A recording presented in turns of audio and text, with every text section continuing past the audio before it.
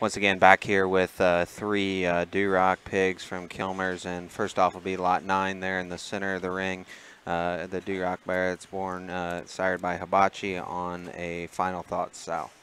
Yeah, this Final Thoughts sow's uh, getting some age to her there at the farm, but this one that we've been kind of working around uh, trying to make our Durocs better. Uh, she's been one that has had the oh she had the reserve champion Barrow or Market Hog at the Uh, this last uh, past uh, North American uh, show this uh, November was out of that sow.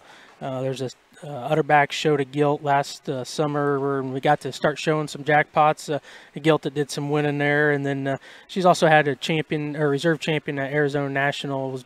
All those have been out of this sow. Uh, and the hibachi's back on this sow. I think it worked really good. Uh, got an awesome look to them. Opened up and square, but you know, still very balanced and complete about them. And this bear, I think's got a you know a bright future that one could could go out this summer and compete very highly with everything. And uh, I just love his design and how this one's made. Yeah, absolutely. The the first look out of the gates normally uh, chest width and then uh, and then combining that with uh, with a side profile and and this one's got width. Uh, he's got shape to his blade.